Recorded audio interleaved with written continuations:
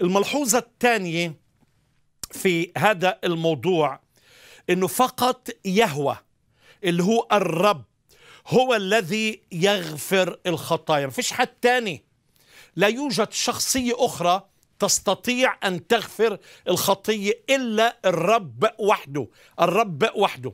مكتوب في طبعا في خروج 34 الآية 7 غافر الإثم والمعصية والخطية.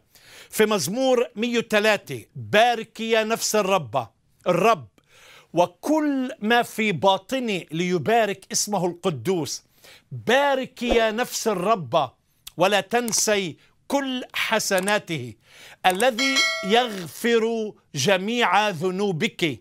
الذي يشفي كل أمراضك. فإذا بنلاحظ نستشف من هذا الموضوع أحبائي. فقط الرب يهوى هو الذي يغفر الخطية. أو كما قال في النبي إشعياء كغيم محوت ذنوبك. أنا أنا هو الماحي ذنوبك لأجل نفسي. وطبعا النبي ميخا إصحاح سبعة مكتوب من هو إله مثلك غافر الإثم وصافح عن الذنب.